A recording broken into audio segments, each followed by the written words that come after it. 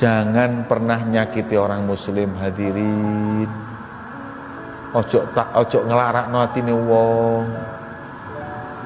Hadirin, kalau Anda sudah nggak bisa nyenengin, nyenengin hati orang, kalau Anda sudah tidak bisa membahagiakan hati orang, minimal jangan nyakiti hatinya.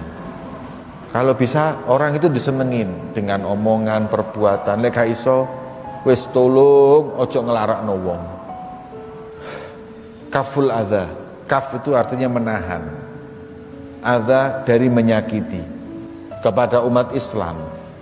Baik itu melalui lisan atau melalui tangan. Itu kau lebih afdol daripada kau berjihad. Anda jihad Masya Allah hadirin. Buat ayo perangkat jihad. Ya, tapi ada lagi yang lebih top dari jihad apa? Ojo ngelarak nanti wong.